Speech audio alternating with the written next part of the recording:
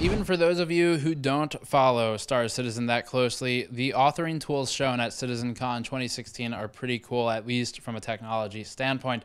This is all plugged into CryEngine, or what's now called Star Engine, and it's done with what Sean Tracy was describing as Planet Ed, or Planet Editor, so we can see some of the procedural generation toolset in action from the CitizenCon demo, which is what you're watching here. If you missed the stream, this is a good place to at least keep up with what's going on behind the scenes and learn a bit about game development from a lower level in terms of the engine technology and things like that. So in this demo, what is shown primarily is Planet Ed. We can see using basically paintbrushes almost in Photoshop style to paint biomes and things like that on the surface. There's large object placement as well. We see that towards sort of the middle end of the demo. And then it's also used to showcase the flexibility of the engine built now called Star Engine on top of CryEngine, where uh, sort of a more acrid swamp-like planet is used as the demonstration for more exotic biomes and territories and things like that, as opposed to the traditional desert planet and ice planet and the Earth-like homestead demo. So I will let you watch through this if you haven't followed Star Citizen at all. I think it's pretty interesting, just again from a development standpoint. But we won't be commenting through the whole thing because it's pretty long. So it's just here as a reference material if it's needed in the future. We're hosting it on our own just for that reason. So without further ado, I'll let you get to the content. Hit links in the description below for follow up coverage of CitizenCon 2016. I'll see you all next time.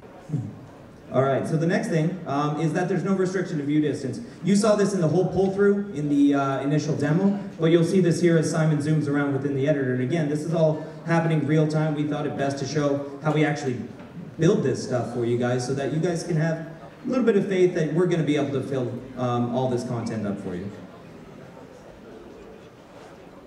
So one of the things we like to do is just kind of show the scale because the scale is really hard to wrap your mind around. Um, as even as a even as a designer, it, it can be uh, um, very jarring when you go from just a centimeter level of precision all the way out to thousands and thousands of kilometers. So he plopped a character in there just to give you an idea of what you're actually looking at because it can be easy to get um, um sort of a uh, god complex when you're looking at this kind of stuff.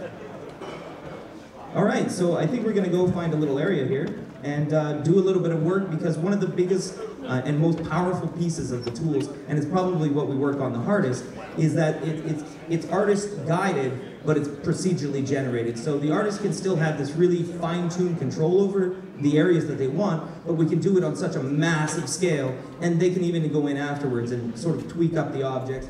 So you'll see he's actually just creating more landscape.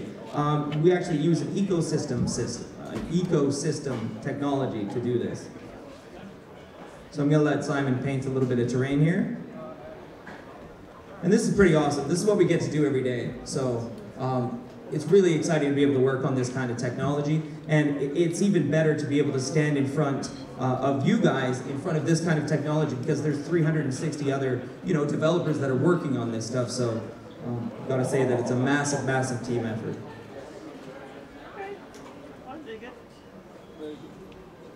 All right, so what he's actually doing is painting down different ecosystems. Uh, the ecosystem is kind of like a high-level visual representation of a classic level, uh, of a classic game level, really.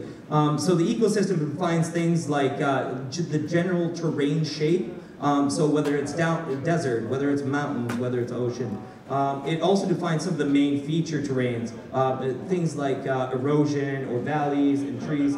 And you can see as he paints around, it changes all the ecosystem underneath.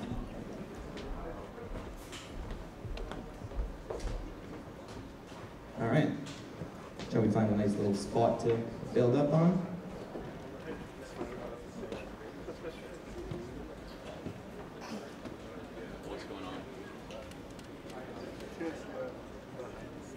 So while Simon looks for a little spot here, just to let you know, the uh, planets are made out of uh, uh, all these ecosystem tiles or chunks, uh, and it's made out of thousands of these chunks. And we can modify them again on a really, really macro scale, so uh, on a planetary scale, or on a very, very micro sort of scale.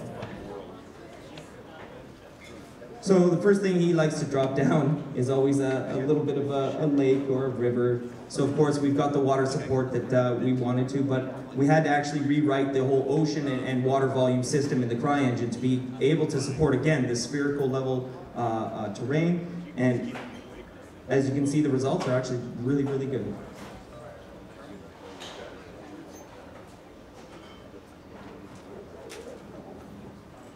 It's no pressure on Simon at all.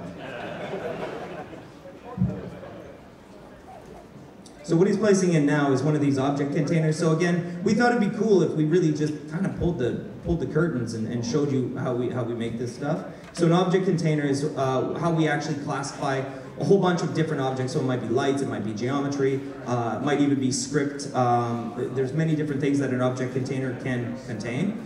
Uh, and the whole point of object containers is really so that we have this powerful streaming system so that we can bring in an entire level worth of content and then bring it out. And even better, we can fly around levels of content, which is what the capital ships are really doing. So this is the tower we just saw in Homestead. We're gonna set up a little uh, location here. We'll put a couple uh, objects down uh, and, and we'll do a little bit of exploring.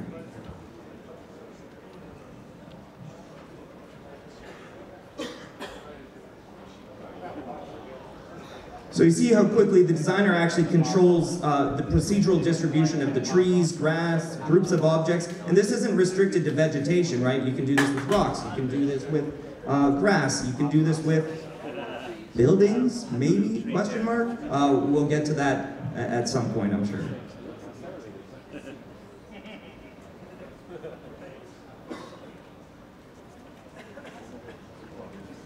So one of the things I did promise my German counterparts is that we'd keep the tools off the screen uh, because they really want to reveal this stuff. They've done a ton of work on these tools. So a lot of uh, what you see, we get to showcase, you know, the final results of this stuff, but there is so much work that actually goes into being able to bring you that. Um, and a lot of those guys don't get enough credit. Um, so really excited to be able to stand in front of this stuff uh, for them.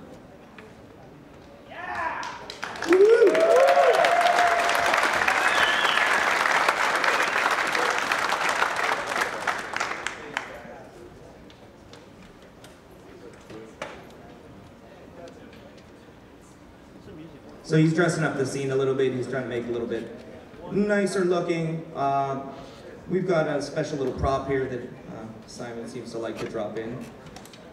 You might recognize it. so we're creating a little home for this crab. I think he lives under the tower. Yeah. Maybe he's got family.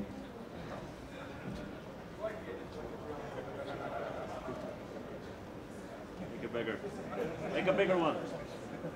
There we go. It's a daddy crab, you know. Oh, now we're talking, son. Now we're talking. So that gives you a really good idea of, you know, this took what, maybe, you know, five, six minutes, um, and we were able to build up just a little section. Now, you know, this isn't about to ship out to you guys looking exactly like this, but uh, again, it shows, oh, I thought, he was mad. We, we would ship it, Simon. Just, we would ship it. Would all Yeah, we ship it. I ship it. um, so again, uh, we need to be able to create this content super quickly, but still have that artist input, because if you don't have that artist input, uh, eventually you end up with very generic looks, uh, and we can't give you these moments that we really are, uh, um, are excited to, to, to, share with you. So what do you think? Should we show that, uh, all right, so the last little bit of this, uh, it's kind of a fun bit, is uh, uh, in a lot of game levels, the thing is, is that you're in a skybox. Like, it, what you're not, what is so hard to wrap your head around is that that's not a skybox, that's actual atmosphere scattering that's happening. The sky is blue because the light scatters, right? Um, so let's just kind of prove that to you. Um, those little sprites in the sky, they're not really sprites, those are other planets. Are you gonna, we're gonna, we're gonna go So let's see if we can explore one of those. One of the other cool things, anyways, just about our editor in general, you saw that while he's developing, he can actually just jump in and start actually playing the game directly from it. Um, it's a super powerful tool. Uh, you won't iterate too much on stuff if you have to shut down, take five minutes to reload some other, uh, uh, some other uh, executable, then you come back to your editor. Being able to just minutely change thing after thing after thing and jump in and try it again and jump in and try it again and jump in and try it again um, gives you really polished content. So there's one reason I'm standing here talking about it and Simon's flying. He's actually, he's a very, very good pilot and I think we're about to showcase this, no pressure. So that's not a Sprite. Let's go. There. Alright. So a little bit of a different looking planet here.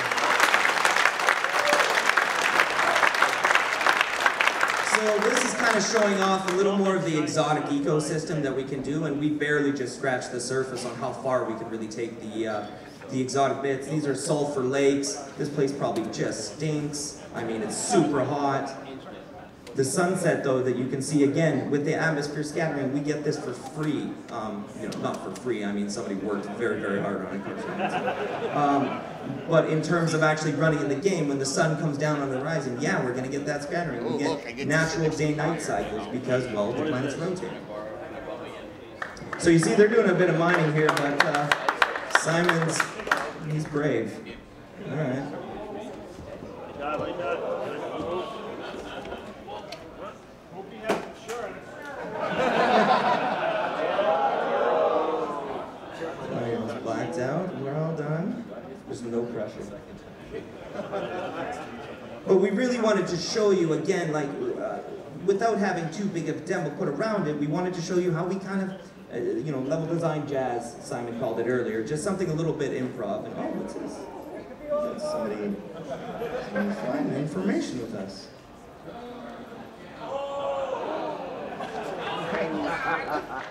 Yeah, audio. Whoa!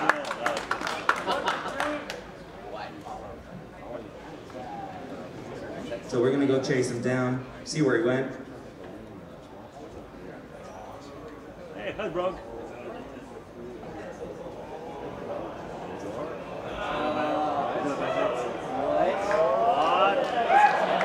What?